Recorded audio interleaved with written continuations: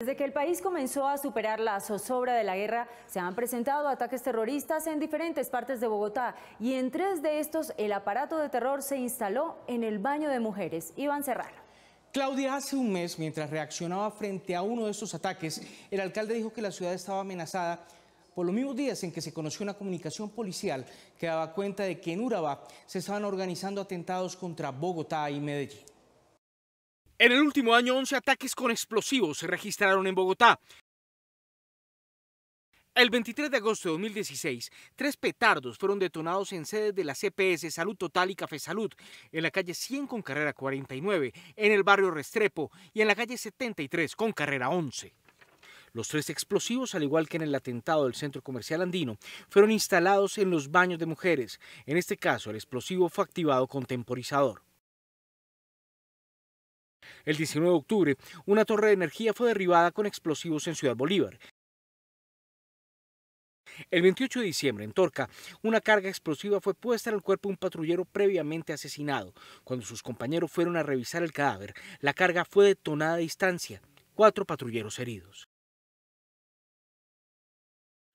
Al día siguiente, una granada fue arrojada contra una vivienda, también en la localidad de Usaquén. El 18 de enero de este año, una bomba panfletaria fue detonada en la carrera séptima con calle 34. No hubo heridos. El 10 y 18 de febrero, dos explosiones sacudieron este restaurante en Teusaquillo. El cobro de un seguro en medio de un divorcio fueron, según las autoridades, las motivaciones detrás de los atentados. Al otro día, un petardo fue detonado en inmediaciones de la Plaza de Toros de la Santa María. El atentado fue reivindicado por el ELN. Un policía murió y 30 resultaron heridos. El 18 de mayo, una carga explosiva de bajo poder fue detonada en inmediaciones de FECODE en Teusaquillo.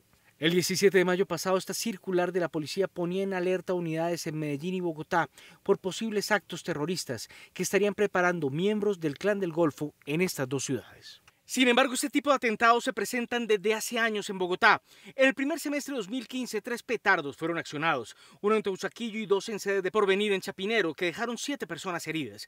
En junio de 2014, tres petardos panfletarios estallaron en la localidad de Santa Fe y. En 2013, también en junio, al igual que el atentado de ayer, un petardo dejó cuatro personas heridas en el occidente de Bogotá. Y en mayo de 2012, el exministro Fernando Londoño sufrió un atentado con explosivos en la avenida Caracas con calle 76.